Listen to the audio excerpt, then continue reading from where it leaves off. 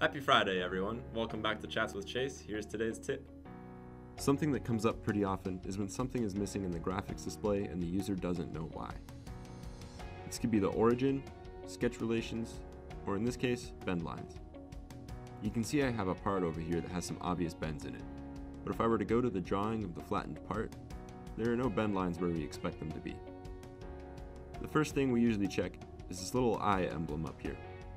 If that's pressed in, it'll hide just about everything except for the actual bodies in the graphics display.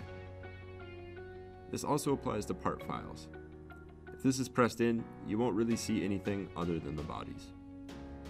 So I uncheck that, and you can see that the bend lines come back. If you were to uncheck the eye and the lines still don't show as you'd expect, check the drop down next to the eye. Bend lines are considered sketches, so you have to have sketches visible as well.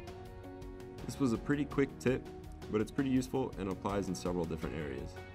In this drop down list, there are all sorts of different options for what you can choose to show or hide.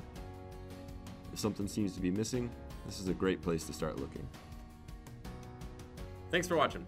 Contact me if you have any questions, and have a nice weekend.